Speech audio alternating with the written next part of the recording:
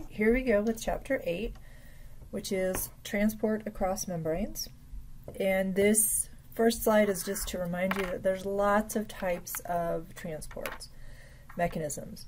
So lots of vocabulary, but the nice thing is most of it pretty much makes sense. So you can kind of figure out the definition from the uh, terms, which is not true for a lot of biology, I've noticed.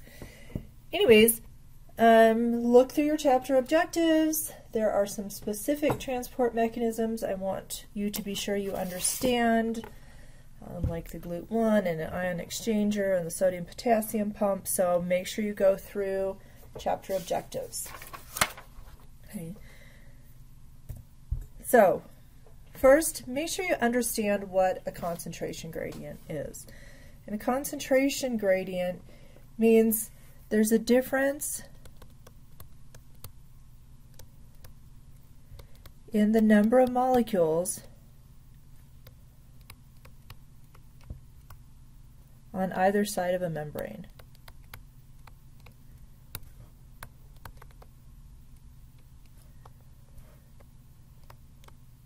At least that's the definition for um, our class, okay, because we're all about the membrane. So you can see that here, inside the cell, has a higher concentration gradient, and on this picture, outside the cell, has a higher concentration gradient of these little orange dots, whatever they are, right? And the concentration gradient is an important driving force for where molecules are going to move. Because if you remember, molecules like to end up in what we call equilibrium.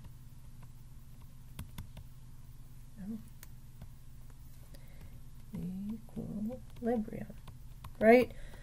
Where, no, I don't know what I just did. Where there is um, an equal number of molecules on each side of the membrane and they move back and forth. That really doesn't happen much in cells. And because cells are selectively permeable, we, or the cells, can move molecules away from equilibrium. So we can concentrate nutrients or we can get rid of waste, things like that. But by nature, the chemical driving force is one, the concentration gradient, and then you're going to see, we'll talk about it a little bit this chapter, but we'll really get into it in chapter 22, is you can also have an electrical gradient. And sometimes the gradients are called potentials. Because, like I said, they are the driving force of moving molecules. So an electrical gradient means these molecules would have maybe some kind of charge, maybe a plus charge or a minus charge. And that also affects the driving force for moving those chemicals from one side of the membrane to another. In the last slide in this lecture, we will talk about how you calculate um, the effects of these gradients on transport and was is it going to take energy or not? And that will be um, delta G. Okay. So another set of terms we talk about with concentration gradient is we can talk about something moving up or against the concentration gradient. And if we're talking about something moving up or against the concentration gradient, you see it requires energy. It's hard to do. It's like going uphill, and you're going from low to high concentration. This is going to be the section called active transport. takes energy to move these molecules against their concentration gradient. The part of the figure below is when you're going with or down the concentration gradient, right? And that's easy, like rolling downhill. So you're going from low to high. And while this is going to be an endergonic reaction, remember these words, it means it takes energy. These can be exergonic, which means it releases energy. Or more importantly, no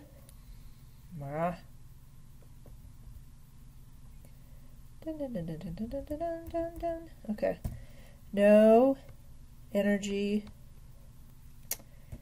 I really don't know why this does this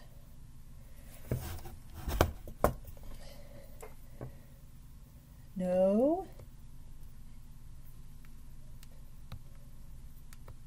oh, no it's not going to let me erase it no energy is required. Okay. Oh, because I'm on the wrong slide. Got it. I tell you guys. Me and technology, I used to love it when I just taught with overheads or um, on whiteboards because I didn't have any of those technical issues. All right. Passive transport.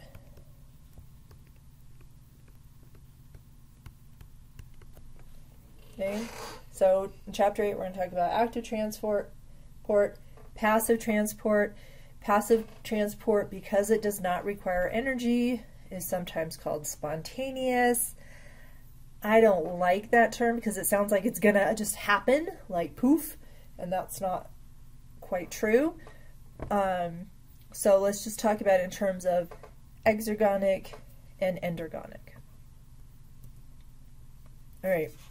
Another important concept that may be new to you is that cells have an overall negative charge, which means inside the cell, the electrochemical gradient is more negative on the inside than on the outside. And that's because all this A minus up here, all these anions, they're really representing proteins and sugars that are in your cell, even inside the nucleus. DNA and RNA have an overall negative charge, which means that the membrane potential, and again, this is really important for chapter 22, we represent the membrane potential as V subscript M. Uh, yeah, subscript. Okay, the membrane potential for cells is negative. That means it's more negative on the inside than the outside.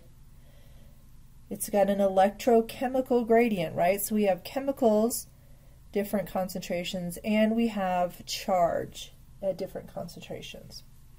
And so just FYI, this is somewhere between minus 60 to minus 70 millivolts. And again, you'll see these numbers come up when you do um, delta, G, delta G concentrations. So moving ions or molecules with charge, you have a um, driving force that is not only concentration dependent, but electrically dependent. So it's an electrochemical gradient that you have to take into um, account. One other, um, when we're talking about charge, thing I want to remind you is that polar molecules right, have partial charges. Remember that delta? Okay, and if you're going, oh my gosh, I totally don't remember this, just remember water. Right? Water had a slight positive area and a slight negative area um, because of these polar covalent bonds. So if you talk about molecules being polar, they've got partial charges. And I want to contrast that with an ion that has a full charge. So not partial, but a full numeric, right? So it could have a plus 1 or a minus 1 or a plus 2 or, gosh, a minus 4, depending on the ion. And we'll talk about these a little bit more, but I just want you to remember the difference between an ion and a polar molecule because you'll see them both used um, in the descriptions. So what can cross a membrane? Well, gases. So now here we're looking at our phospholipid bilayer, and that's what we're going to focus on. A lot of these um, studies were done with liposomes. Remember those from last chapter? Little spheres of a phospholipid bilayer. I can't draw it. Okay, right? A sphere. And so you could put a liposome in different solutions and see what could cross. So gases, CO2 and oxygen, your most important gases for life, can easily diffuse. Okay, so I'm going to write the word diffuse. Right across that membrane. They don't need any help, they don't need any proteins, they can go right through the phospholipid bilayer. Hydrophobic molecules, even some large ones, like steroid hormones. We'll talk about this again in uh, cell signaling. I hate that. Steroids, hydrophobic molecules, can cross that phospholipid bilayer because look, the majority of it is hydrophobic, right? So like dissolves like, so they can go ahead and cross. A few small polar molecules. Okay, a few, like water, partial charge, like ethanol, can diffuse or move right across the membrane. But as soon as you get into large polar molecules, like a sugar, charged molecules, even teeny ones, like ions, or larger ones, like amino acids, those are resistant to, or the membrane, I guess, should I should say, resists those molecules crossing, and so we'll have to talk about using proteins in our membrane in order to help these things cross. So, if you're too big, if you've got a partial charge or a full charge, you cannot cross that membrane without the help of some kind of protein. And, um, well, we'll talk about, I'm sorry, I got it. All right, so types of transport I've alluded to. Passive is where we're going first. Passive means no energy required. It means you're going down your concentration gradient. So if you don't know this symbol, this symbol stands for concentration.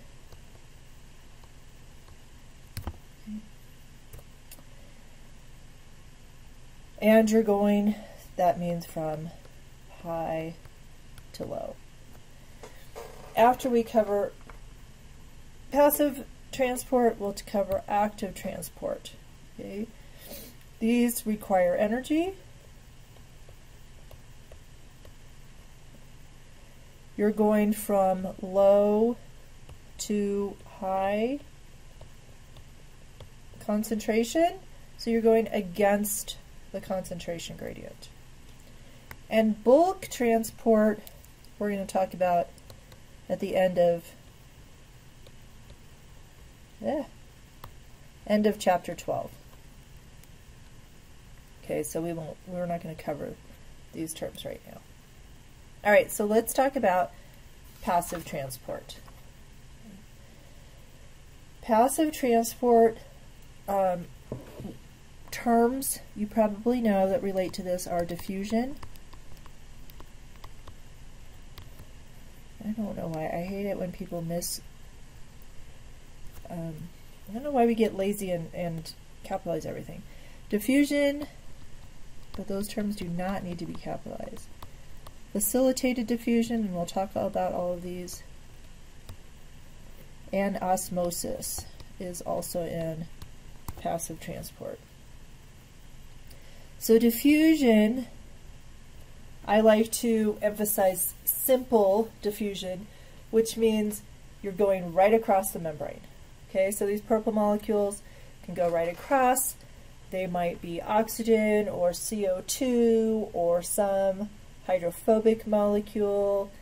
A little water can go this way, but remember osmosis is when we're talking about the movement of water. Talking about the movement of anything else, it's diffusion or facilitated diffusion if you're talking about passive transport. Facilitated diffusion just means you need a protein. So you need to facilitate your diffusion. Right? So you can have protein channels, you can have carrier proteins. And passive transport is all high to low concentration. And what I want you to make sure you understand is it could move this way if the concentration of the purple balls becomes high inside. So in diffusion, these either simple diffusion or facilitated diffusion can move the molecules either way, all depending upon where the high concentration is. The difference between a protein channel and a carrier protein, carrier, sorry, is that a protein channel, I like to think of it like a tunnel, right? It's open and things can go through. And we'll talk about that they're still specific, um, but it's different than, excuse me, a carrier protein. A carrier protein is going to change conformation, which means the protein itself is actually going to change shape.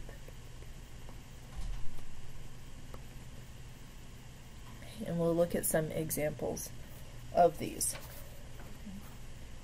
These are both considered transport proteins, okay, but just different types. So like I said, diffusion, facilitated diffusion is any kind of solute, anything that's a molecule other than water that's moving from high to low concentration. Osmosis, remember, is for water specifically and only. So it's still passive transport.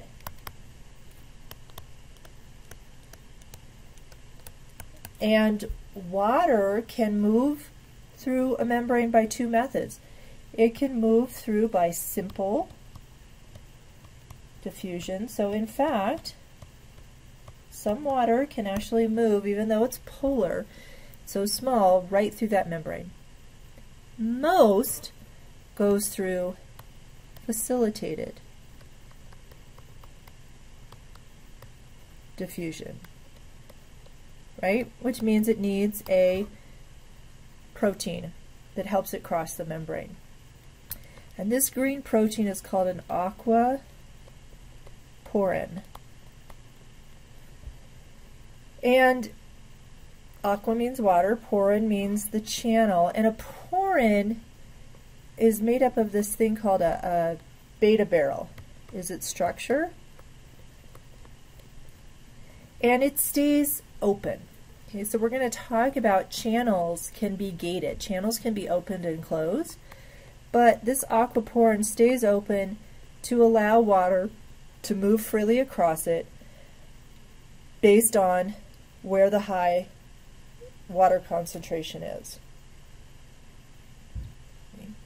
You would find lots of aquaporins in a organelle, uh, organelle, an organ like your kidneys, which job is to filter the blood and get out the extra fluid and water to make urine. But all cells, almost all cells, have aquaporins because water is essential to life, and we need it to be able to quickly move back and forth based on the concentration.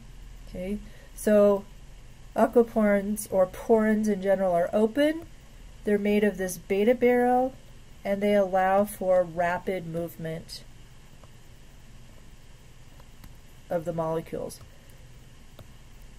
What's interesting, I think, is that it's not just a free flow of everything. There's actually amino acids inside your beta barrel that specifically allow, in this case, water to go through. Or there's other types of porins um, that are size specific, so molecules of a certain size um, can move through. As we talk about movement of water, we also talk about tonicity. So tonicity is talking about the solute concentration. And we're always comparing one side of a membrane to the other. So this little orange guy is supposed to be a cell.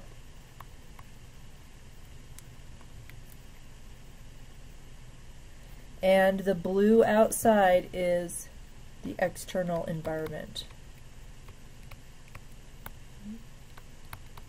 And most of the time, we're considered we're concerned, excuse me, about what kind of environment or solution we're putting a cell into. So hyper means lots, right? Hyper kids, lots of energy. Hypertonic solution means lots of stuff. Tonic is the stuff, the solute. Oh my goodness, I just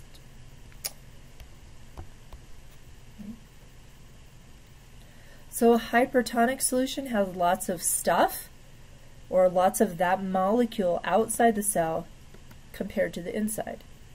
So if this molecule, this green dot, could move through diffusion, it would move this way.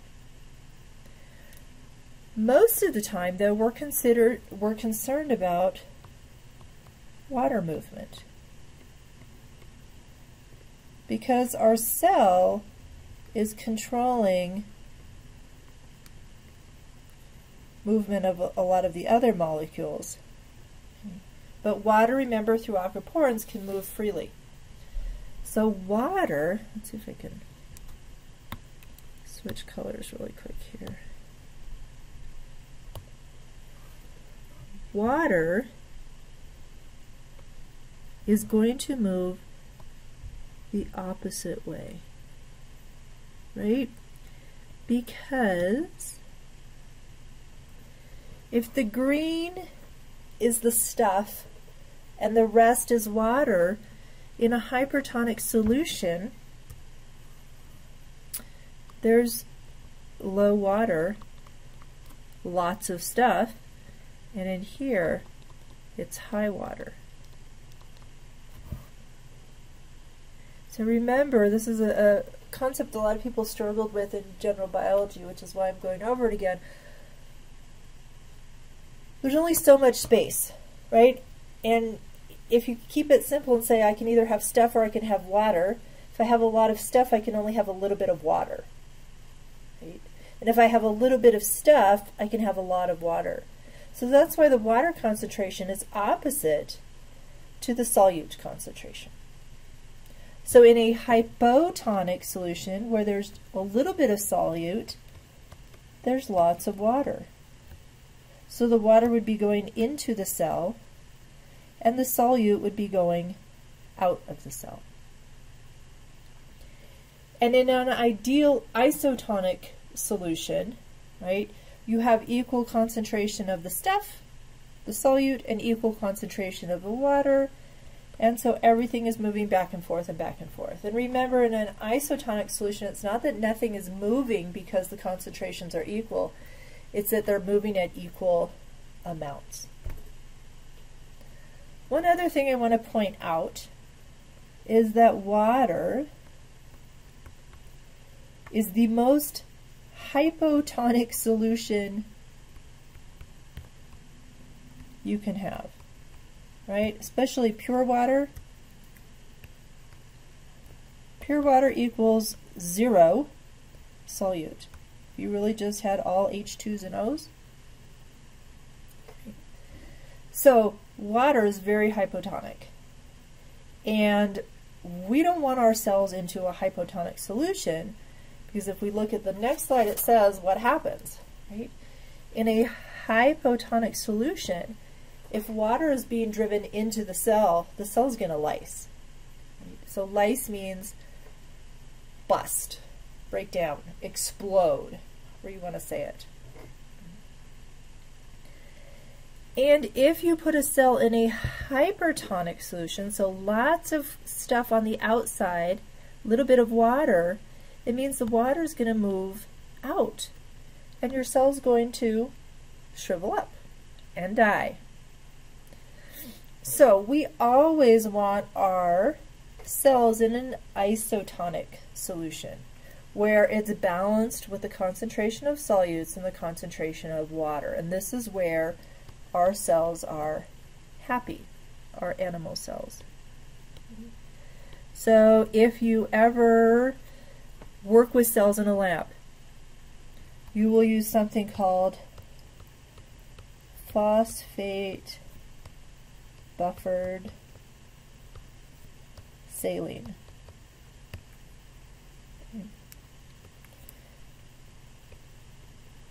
The phosphate is to keep the pH correct. You know, we're not talking about pH this semester, but you hopefully learned it in general biology. So pH is important for cells and proteins and everything to be happy, and saline is salt water. So when you're working with tissue culture or cells in the lab, even if you are going to um, remove them from their solution they're in, you always keep them in a phosphate buffered saline solution so that it's an isotonic solution. So if you accidentally resuspend your cells in water, hypertonic, I mean hypotonic, right, you're going to kill them. They're going to bust, they're going to lyse open. And we actually do, we'll do that is if we want the cells to bust open, we will put them in water. And this is true for um, animal cells, this is true for working with bacteria cells. You always want to keep them to keep them healthy in an isotonic solution. Plant cells are a little different, right? Plant cells are happy in hypotonic solutions. They actually like to have that extra pressure of water coming in because they have a cell wall. And they like something called turgor pressure.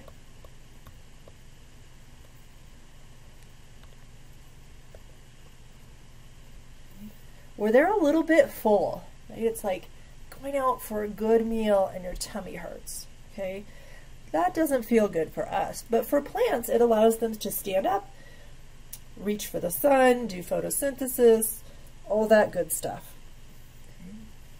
In an isotonic solution, plants actually get what we call flaccid, or I like to call the technical term, is limpy. So if you have had a stick of celery or some carrots in your fridge or lettuce a little too long, they become dehydrated, right? They've lost too much water and they become limpy or wilt. I, this summer, messed up and forgot to plant my tomato, sorry, tomato plants that I purchased. And I came out a couple days later and they were all limpy. And I thought, oh, I should just throw them away. But I decided to plant them anyways. I watered them. Came back that afternoon. They were beautiful tomato plants. It was amazing. I wish I had taken before and after pictures. Luckily, they didn't get too dehydrated. If you get all the way to plasmolysis,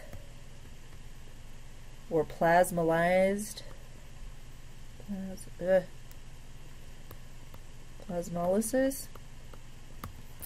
This is where the plant gets so dehydrated that the plasma membrane actually starts pulling away from the cell wall.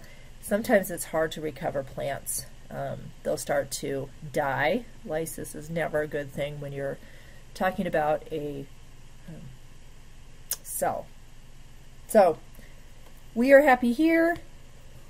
Plants are happy in a little bit of a hypotonic solution. Make sure you understand this relationship. If I tell you about a solution of cell is, you can understand or you can tell me, analyze, which way the water is going to move. All right, let's move away from water. Let's go to facilitated diffusion. Again, this is passive transport, high to low concentration, just with a protein helper. The protein is the facilitator, and the diffusion is the high to low, right? And we've already kind of touched on this. You can have a protein channel, you can have a carrier protein. Carrier proteins are going to undergo conformational changes as it moves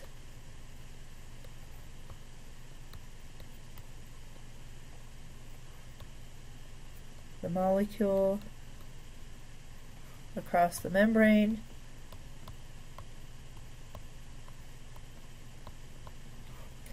Channels are like um, a, a tunnel, but they can also be controlled. Open and close. And we'll talk about some of these mechanisms. I want you to know that this is still selective or specific. Okay. Porins are the ones that are not as specific, sometimes just specific to size, Aquaporins, though, are specific to water. But these protein channels, a lot of them are for ions, right? So we can get those charged molecules across.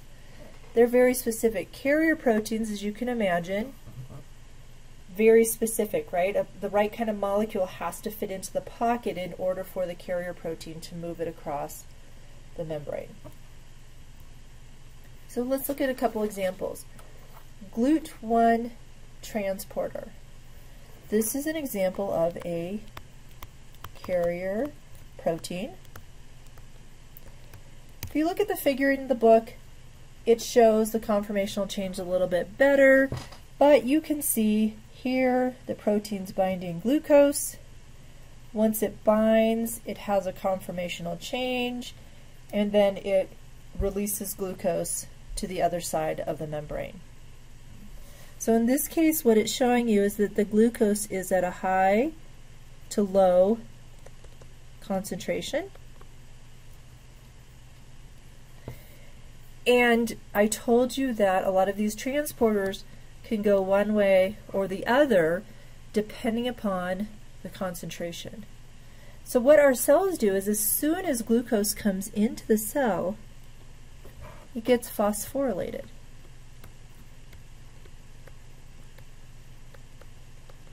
Phosphorylation means you add a phosphate group. Now, this is no longer glucose. This is glucose 6-phosphate. So now this will not be transported back out because it's not going to fit into that specific carrier protein. And so this is a way that the cells can continue to bring glucose in and keep the glucose concentration outside the cell high because glucose 6-phosphate is not glucose. So think about that. It's a really important um, concept. Okay, this is passive transport. Right, you don't see any ATP in this diagram. This is facilitated diffusion because it's going from, oh, it just drives me crazy. I think there must be weird spots on my screen. Going from high to low concentration. And one other word term I want to throw at you is this is also an example of uniport. Uniport means one molecule type in one direction. Now, yes, it can go the other direction, but it would go um, not at the same time. Okay, so when you're analyzing and using some of these terms, you're looking at, okay, what's happening right here in this picture? Oops, we'll erase this. Okay, and it's uniport. Glucose is coming one type of molecule, one direction. Let's look at another example. Anion exchange, or the chloride bicarbonate exchanger. These are really important in your red blood cells. This is an example, again, of facilitated diffusion, right? Because we've got our protein there. These are actually carrier proteins, but I couldn't find a really good um, picture of it.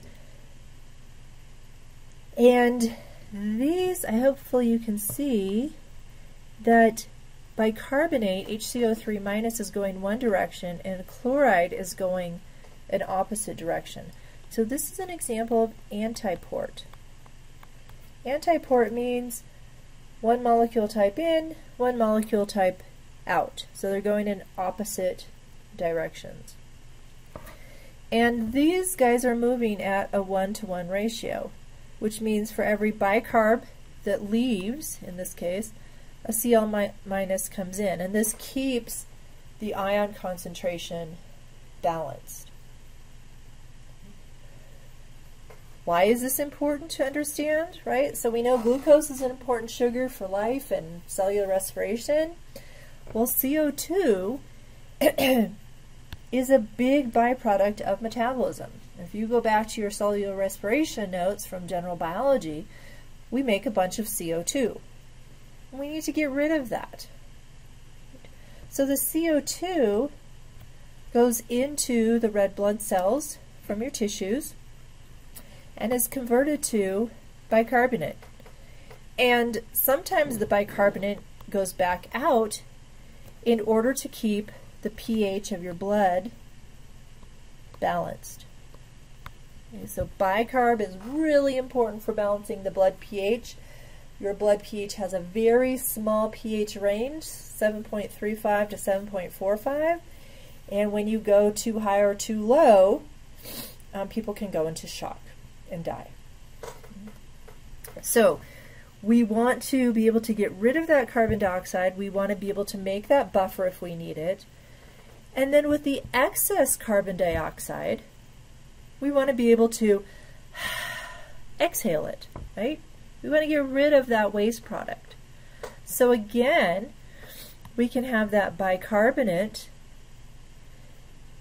in, turn to CO2, and in our lungs, the CO2 leaves the red blood cells, and we breathe it out, right? CO2 is going to cross the membrane by simple diffusion. We've talked about that gas. The bicarbonate has to uh, move by facilitated diffusion based on wherever its concentration is higher, right? It's diffusion. And in order to maintain that ion concentration, it uses an antiport mechanism, right? So it exchanges a bicarb for a chloride ion and vice versa. So take a look at this diagram, take a look at your book. Really important to understand. I'm sure you'll learn a lot more about it in physiology. One way these um, carrier uh, proteins have been described as working is the ping pong mechanism. And again, this is just to emphasize that there's this conformational change, there's this structure change when these proteins are working. So the ping pong mechanism means as it's taking one type of molecule out, in this case, it has a certain conformation. And as it's bringing something else in, it has a slightly different conformation, right? So it goes ping, pong, ping, pong, ping, pong, back and forth, just like if you were playing ping pong. So the Anion exchange um, carrier protein is described as a ping pong mechanism. And so I just wanted to try to illustrate to you what that meant. All right. I'm going to go through three more slides and then I'm going to pause and make a new video so um, I can get a drink of water. All right, gated ion channels, right? So we've talked about a channel for um, diffusion, facilitated diffusion, like a little tunnel, but I said a lot of channels can be closed off and opened. So that's what we're talking about. A gate, just like a gate to your backyard, can be opened to let things in and closed so that nothing's crossing that gate. Gated ion channels are very selective for specific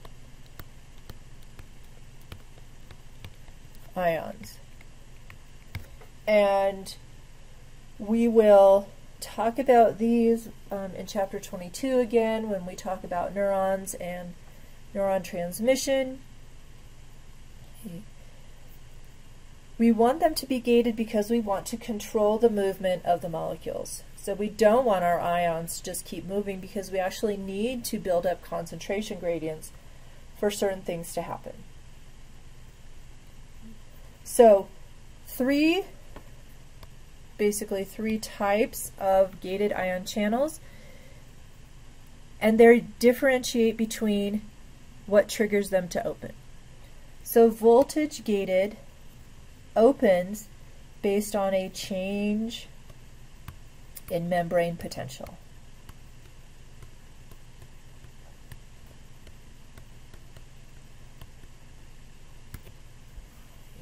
So you can kind of see there's a bunch of pluses and a less plus.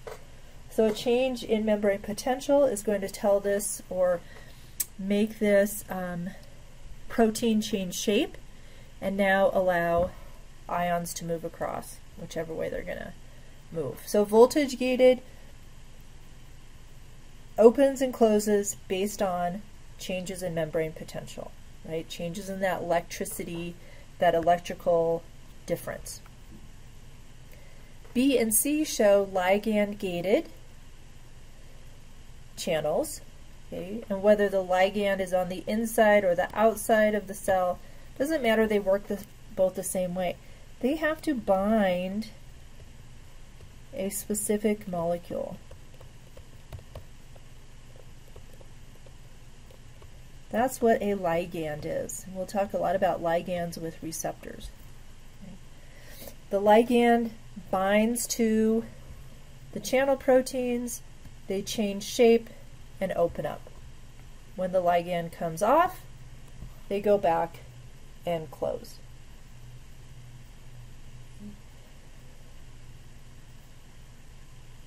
Mechano uh, or stress activated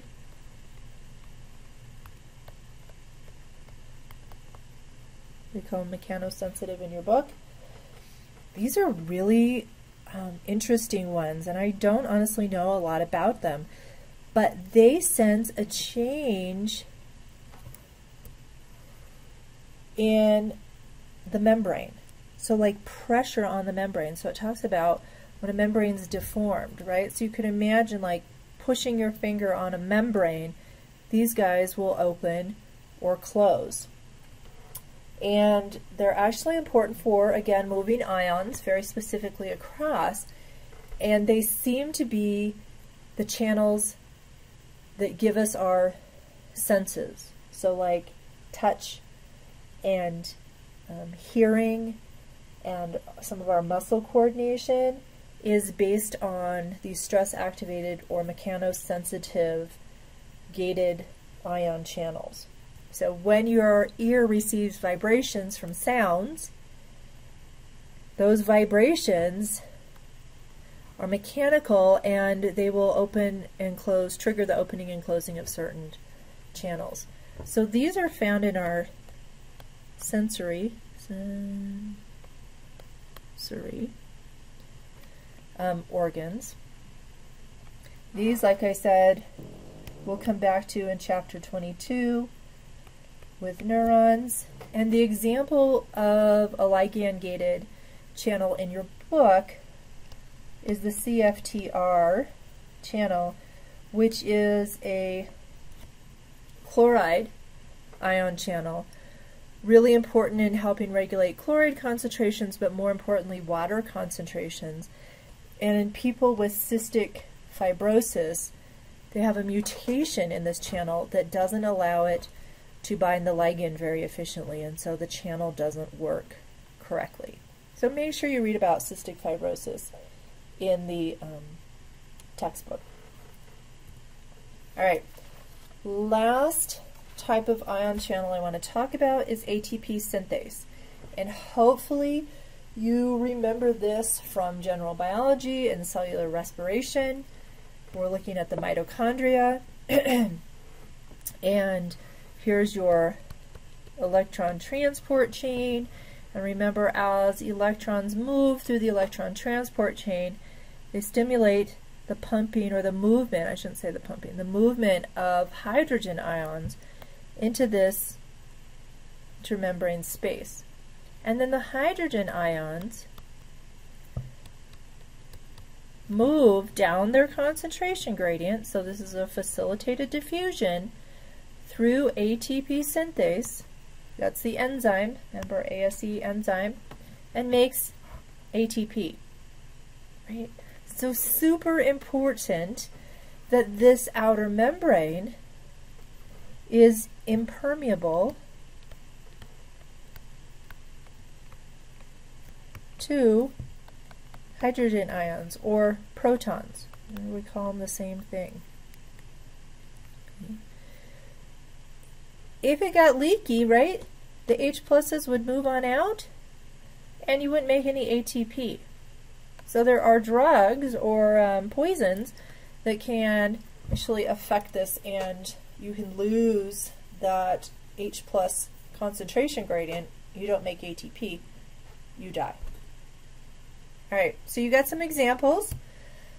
Um, we've talked about simple diffusion. We've talked about ion channels and water channels or porins. We've talked about gated ion channels that actually open and close. We've talked about moving molecules in a uniport, a symport, or antiport. And where we're going to go with the next lecture is now talking about active transport that involves ATP.